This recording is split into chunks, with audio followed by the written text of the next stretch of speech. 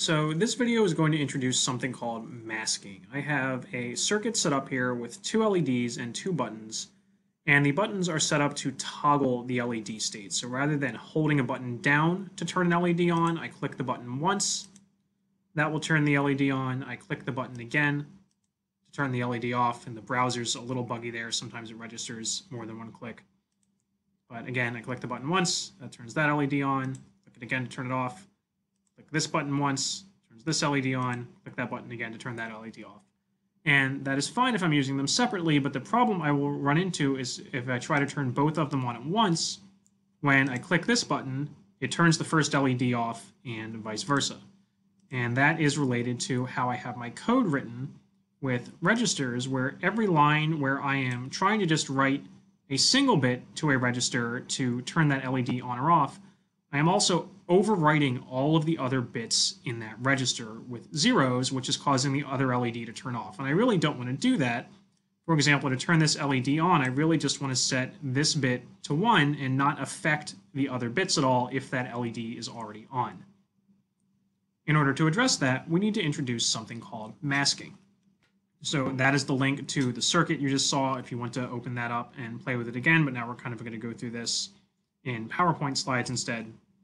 So my problem is that I want to control two LEDs on Arduino pins 6 and 7 independently. So on my Arduino, I have pins 6 and 7. I know that corresponds to port D bits 6 and 7. And to set that up, I know that first I need to set them as outputs using the DDR-D or data direction D register. So I set bits 6 and 7 to 1. That sets those pins as outputs. To turn pin 7 on, I can use the port D register to set this bit to 1 that turns this pin high and will light up the LED. To turn pin 6 on, I can set this bit to 1, but again, the problem here is that I'm overwriting all of the other bits in this register with zeros, and that is inadvertently turning pin 7 off. And I don't want to do that. I want to be able to control the LEDs independently without accidentally turning one of them off when I go to turn the other one on. So to address this, we're going to need to talk a little bit more about bitwise operators and look at how they work on single bits. So first, let's look at the AND operator. If I take 1 and AND it with 1, I get a 1. If I take 0 and AND it with 1, I get a 0. If I flip that, take 1, AND it with 0, I get a 0. And finally, if I do 0 and 0, I get a 0.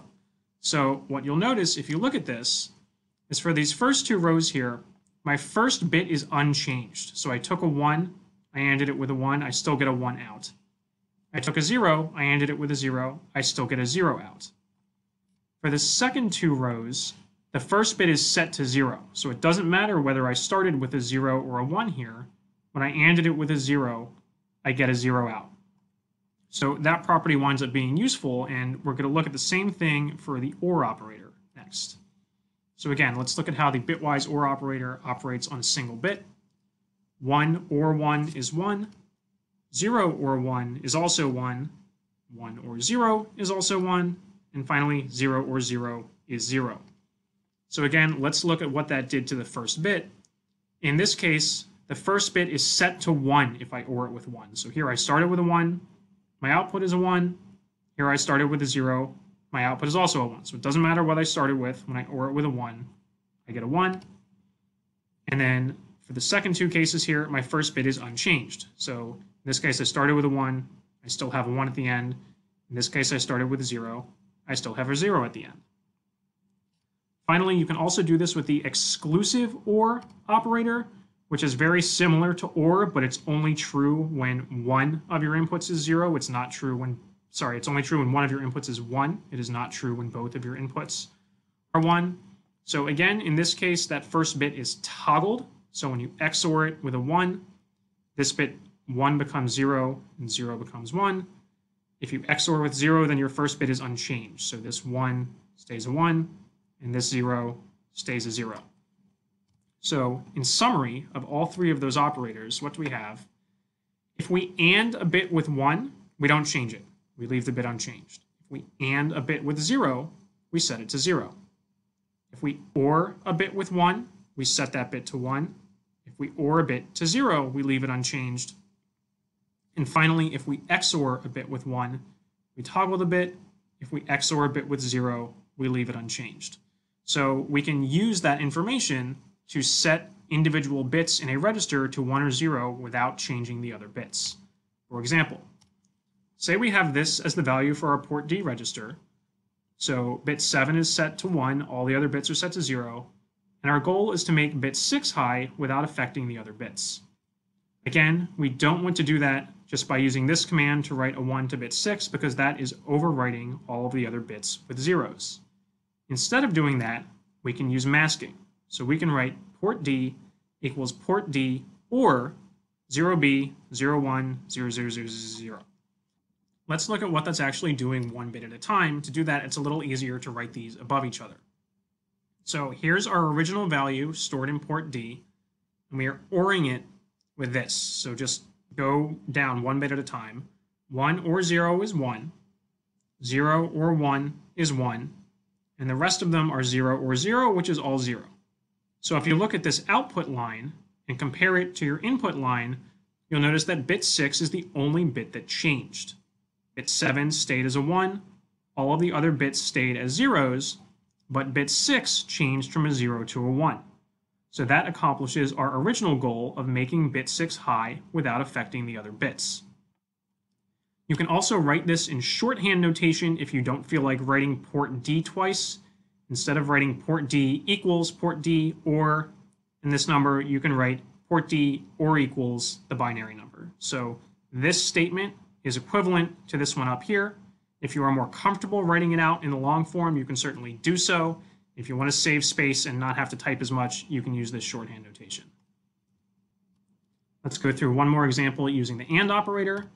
So this time, say I have port D, pins 6 and 7 are already set high, and my goal is to make bit 7 low without affecting the other bits. So again, I don't want to do this because there I'm writing a 0 to 7, but I'm also overwriting everything else with a 0, so I'm accidentally going to turn this LED off as well. I don't want to do that. I can use masking, but this time I want to use the AND operator. So again, we look at this one bit at a time. Here's my original value stored in port D. I AND it with this expression.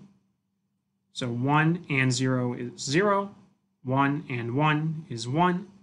For all of the other ones, 0 and 1 is 0. So if I look at this output line and compare it to my input, bit 7 is the only one that changed. This 1 stayed as a 1. All of these zeros stayed as zeros, but this 1 became a 0. And again, that was my original goal, make bit 7 low without affecting the other bits. And again, you can write this in shorthand notation. Instead of writing port D equals port D and blah, blah, blah, you can write port D and equals blah, blah, blah. These two lines are equivalent. So the conclusion here is depending on whether you want to set an individual bit high or low, you can use the bitwise and and or operators to do masking, and that way you will only write to the one bit you want to change and not affect the other bits. And again, we didn't do an example with the XOR oper operator here, but if you want to toggle a bit so you don't know its state, but you know you want to flip it from either 0 or 1 or 1 to 0, you can do the same thing with the XOR operator. So let's go back to our circuit now. And I am going to comment out all the lines that were just overwriting the registers and uncomment the lines that are using masking.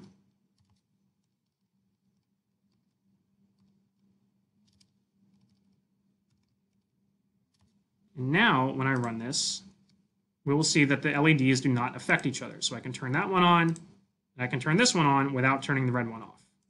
And again, this is because each time I click this button, the code is using masking and only writing one of the bits and leaving the others unchanged because I'm using this masking operator in here.